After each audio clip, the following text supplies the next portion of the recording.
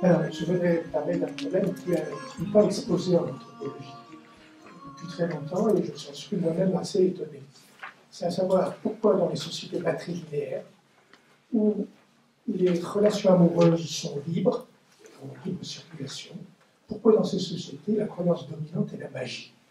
Y aurait-il un rapport entre magie et relation d'amour? C'est ce que je voudrais un peu aborder aujourd'hui avec vous. Alors, je vais vous parler effectivement d'une société, euh, on vient juste de dire, de prononcer le mot, ce sont les Péré, P-E, accent grave, R-E. C'est le deuxième terrain africain que j'ai fait au Cameroun, dans la Damawa. Je viens juste en dire quelques mots. C'était une société qui restait très longtemps isolée, coupée du Cameroun, parce qu'elle est située dans une plaine, en contrebas d'une immense falaise. Et puis, au nord, il y a la réserve du Faro, qui la ferme, et puis à l'ouest, la frontière du Nigeria. Et cette société a commencé à être un peu ouverte au Cameroun lorsque le Cameroun, le gouvernement, a créé une route qui descend euh, sur la, de la falaise jusque dans la plaine. Et ce qui fait que j'ai pu y aller en 1987, passer un an auprès de cette société.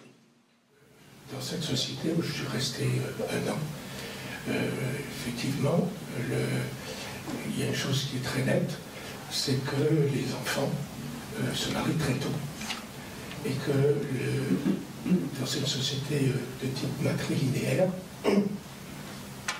les enfants se choisissent même euh, à l'âge de l'adolescence. Et lorsqu'ils ont décidé de se marier, ben, ils partent. Euh, tout simplement, le garçon avertit la fille, avec, prend son accord et décide de partir ben, une nuit, de venir la chercher et de l'enlever. Alors il l'enlève, euh, et puis il l'amène dans son propre village. Le matin, quand les parents se réveillent, ils sont un peu étonnés de ne pas voir leur fille. Ça fait un peu des mois, il y a un peu de, de qui tournent autour, et puis très vite, on sait où se trouve la, jeune fille, on attend. Et quatre ou cinq jours après cette première lune de miel, euh, la jeune fille revient euh, chez ses parents avec une assiette de mille, de farine de mille, et puis avec un poulet en signe de réconciliation, et c'est à ce moment-là, si son père euh, lui donne la bénédiction, le mariage est scellé. C'est-à-dire qu'effectivement, chez les patrilinéaires, le mariage est très facile et ne prend pas beaucoup de euh, n'entraîne pas beaucoup de complications. Voilà. Et ensuite, la fille vit avec son mari, et effectivement, les relations sont très libres, qui fait que s'il y a une mésentente dans le couple, eh ben, c'est assez facile pour la femme de partir. Premièrement parce que la dot n'a pas été très importante, elle peut être remboursée facilement, et puis surtout parce que les enfants qu'elle a n'appartiennent pas à son mari, ils appartiennent à son propre matrilignage et non pas à celui de son mari. Donc elle peut partir, elle prend ses enfants et elle va euh, résider chez un de ses frères ou chez un autre homme. Et c'est ainsi que chez les Pérés, vous avez 50% de divorce. C'est quand même un rôle assez important autant que chez nous. C'est-à-dire que les relations amoureuses battent leur train de façon assez forte.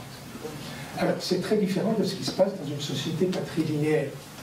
Travaillé avant chez Pérés, chez les Bamileke, et chez les Balménétés qui sont patrilinéaires, et effectivement, la répression sexuelle et, les, relations amoureuses ne sont pas du tout euh, à l'honneur. Au contraire, on a plutôt tendance à les rabouer. Et les mariages se font euh, entre familles, et euh, dans ces sociétés, le, mari est obligé de payer une dot assez importante à la famille de la femme, tout simplement, non pas pour acheter la femme, comme on l'a pensé souvent, mais pour acheter son ventre. C'est-à-dire que les enfants que la femme mettra au monde appartiendront à son lignage. Et c'est ce qui est le fait qu'effectivement, lorsqu'une femme veut divorcer dans une société patrilinéaire, il faut qu'elle rembourse la dot qui a été importante, et puis qu'elle laisse ses enfants, parce que les enfants appartiennent au lignage de son mari.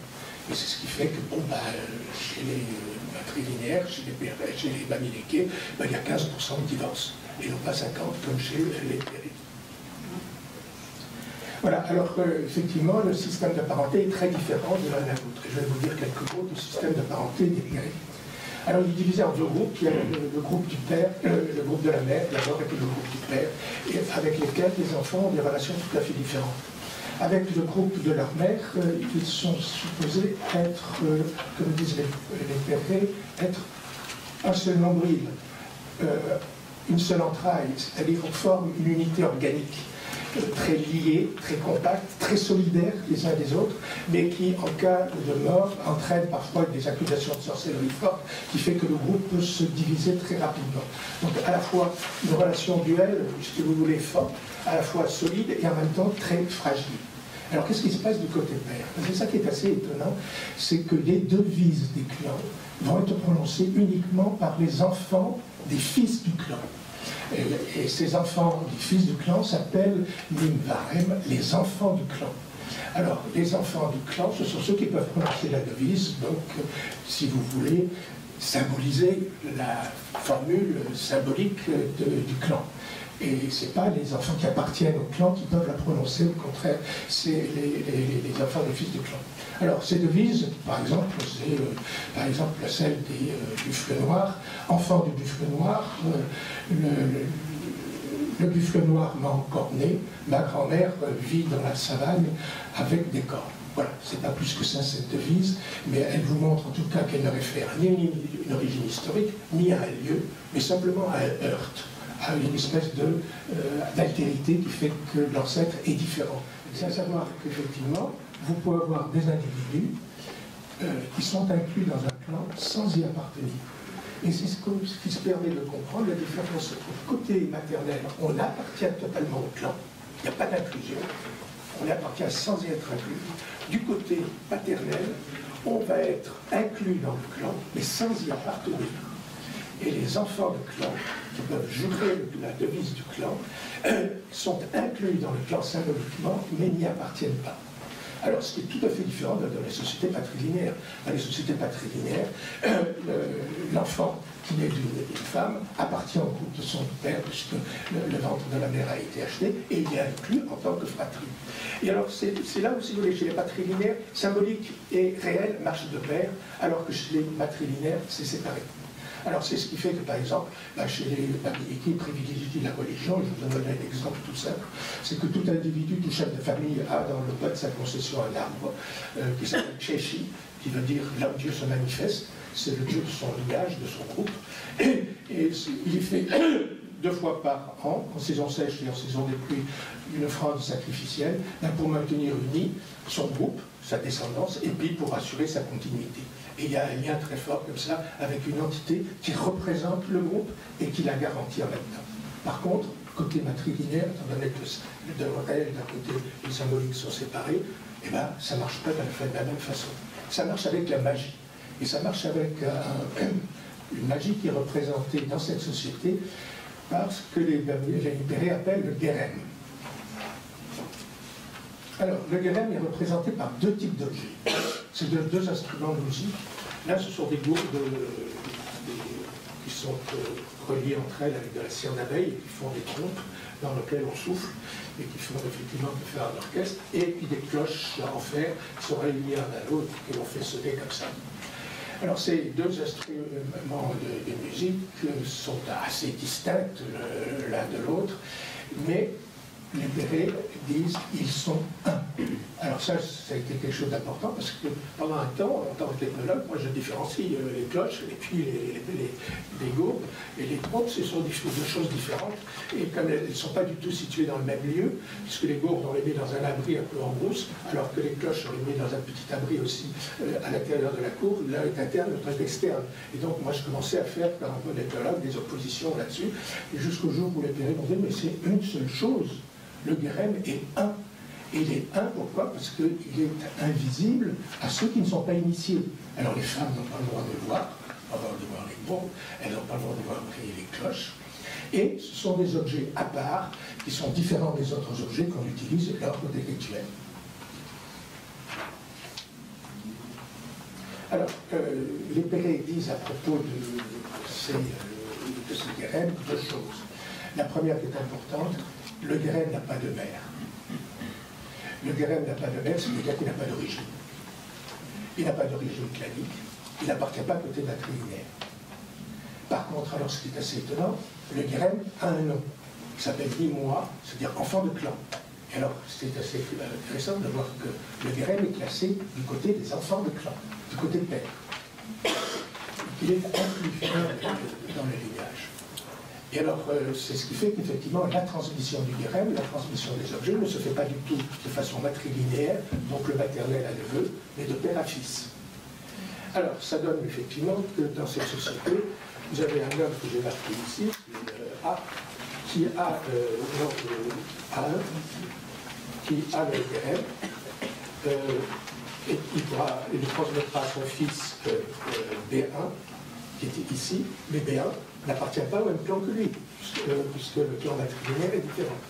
Alors, pour remédier à ce défaut, les pérés, comme dans toutes les sociétés matrilinéaires d'ailleurs, ils vont épouser leur cousine croisée matrilatérale, c'est-à-dire une fille de la sœur du père, qui appartient au même matrilignage que leur père. Donc, leur femme va avoir un enfant à deux, qui, lui, sera du même clan que le grand-père. C'est ainsi que les, les pérés rétablissent, si vous voulez, de la filiation agnatique dans de la filiation matrilinéaire.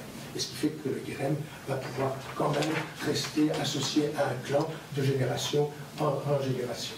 Alors, quelles sont les fonctions de, ce Guérem Il y en a deux très importantes. Euh, la première, c'est d'assurer l'initiation des jeunes garçons, qui commencent à l'âge de 6-7 ans et qui vont être séparés de leur mère. Alors, je ne vais pas parler de cette initiation qui est l'événement majeur chez les Péré, qui est l'événement le plus remarquable auquel j'ai pu assister et enregistrer, mais qui se déroule en trois temps, comme les grands rites rituels, et qui est un rite de séparation, qui est un rite de séparation où l'enfant va être, par le guérem, séparé de sa mère et du clan de, la mère d'une certaine façon. Alors, et puis, ce guérem va être utilisé aussi pour soigner. Alors, pour soigner plus, particulièrement les femmes qui n'arrivent pas à mettre au monde des enfants. Parce que le, souci des sociétés matrilinéaires, c'est de, perdurer et d'avoir toujours euh, des enfants euh, de génération en génération. Or, je trouve qu'il y avait quand même pas mal de petits microbes qui circulaient depuis le Nigeria et qui faisaient que pas mal de femmes euh, étaient de moins en moins au monde. Et alors, l'amour, à ce moment-là, a quelque chose de, comme peu la magie, c'est-à-dire qu'elle est la cause d'elle-même. Elle n'a pas d'origine. Et puis il est sans limite, on ne sait pas où ça s'arrête. Alors c'est là où il y a bien quelque chose d'un peu commun, je dirais, entre les, deux, euh, entre les deux euh, aspects de la magie et de, l'amour. Alors, euh, cet amour, je vais me référer un petit peu à Lacan parce que c'est là où je trouve que son interprétation est intéressante. Il faut savoir d'ailleurs qu'il est passé par plusieurs interprétations. Il a il, y a, la première, la plus connue, qu'il a repris à Freud, c'est le narcissisme, à savoir que lorsqu'on aime, on, se retrouver soit dans l'autre. Et comme il avait la conception euh, spéculaire du miroir, sa conception effectivement de l'amour était un peu déjà différente de Freud, et sentait que ça pouvait vaciller, puisqu'une image, c'est jamais très sûr. Alors c'est ce qui fait que dans un second temps, il s'est appuyé sur le fait que l'amour pouvait être lié aussi à du symbolique et à des signifiants particuliers qui le déterminaient. Mais ces signifiants particuliers sont retrouvés pour chacun.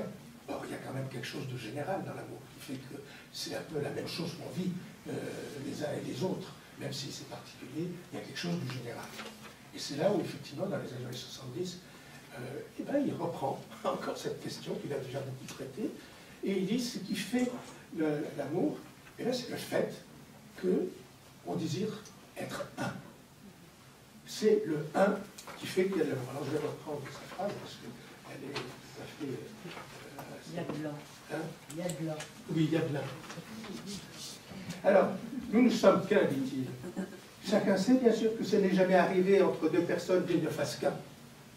Mais enfin, nous ne sommes qu'un. C'est de là que parle l'idée de l'amour.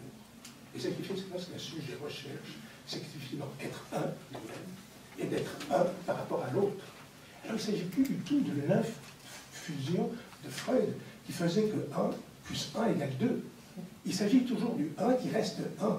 C'est un incontable. Et c'est ça qui fait la caractéristique de l'amour.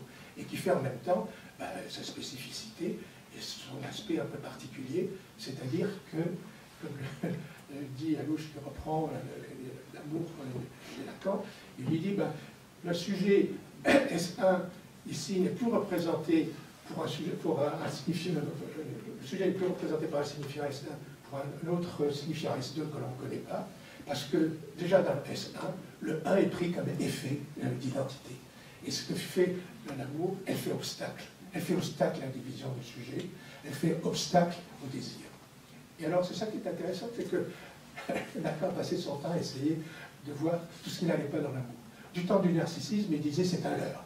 Ensuite, du temps du, symbolique, il a dit c'est une tromperie. Et puis ensuite, quand il arrive au 1, il dit ben, c'est un obstacle. C'est un obstacle qui m'effraie au désir.